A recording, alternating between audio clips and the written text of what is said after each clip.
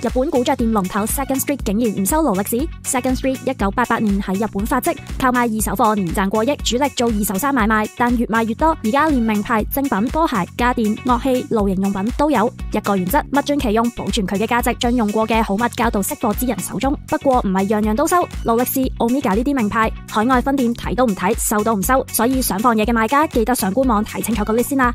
呢间日本古着店大哥大卖到杀出日本开分店，美国三十九间，台湾三。十一间马来西亚二十一间泰国两间下年仲强势嚟香港，中意寻宝嘅你有福啦！人卖旧嘢佢卖旧嘢，点解佢可以赚到少？赢就赢在佢行得超前，一般二手铺又细又杂乱，佢就整好门市，店面阔落，分好晒类别。怕二手衫污糟唔想买，佢就公开埋佢嘅神奇清洁技术。来货太贵又怕买到死人衫，佢就同大众收购透明买卖，直场股价，货源多咗成本低咗，仲赢埋公信力，食住个细食住复古爱好者嘅心，话系最前卫嘅古着店，佢真系当之无愧。好快佢就嚟香港同大家。